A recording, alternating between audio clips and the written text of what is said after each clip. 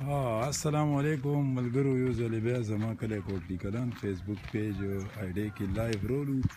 په دې موږ موږ لاندې په خوړ کې روان یو د مقبرې نه پیدل دونی صافتابه کیمرې ته ګوته ونی دي چې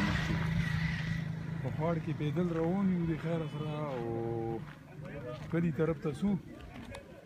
او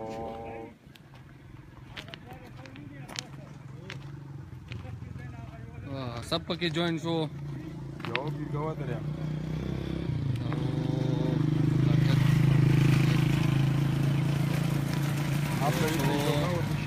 صابر کینګ پکې جوړ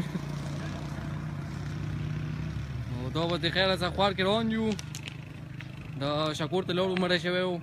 او دغه دی اوس د لون د خوار کې روان دی خیر څخه او مولا خان پکې جوړ شو سلیم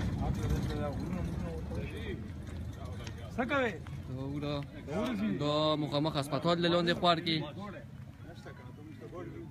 دا لاندې هسپتال دی دوی ته خلک روسي ستنې منې وایي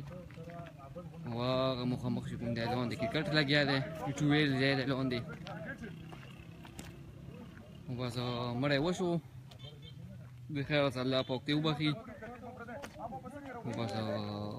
پیدل روان یو ان شاء الله تعالی بیا به خیر زګاب شپ لګو دغه دی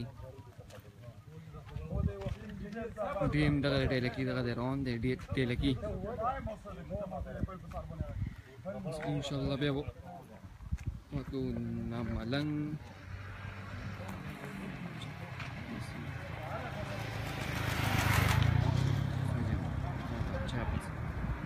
صحیح شو الله پامان الله پیس نبي ان شاء الله قابش على قوي خير ذا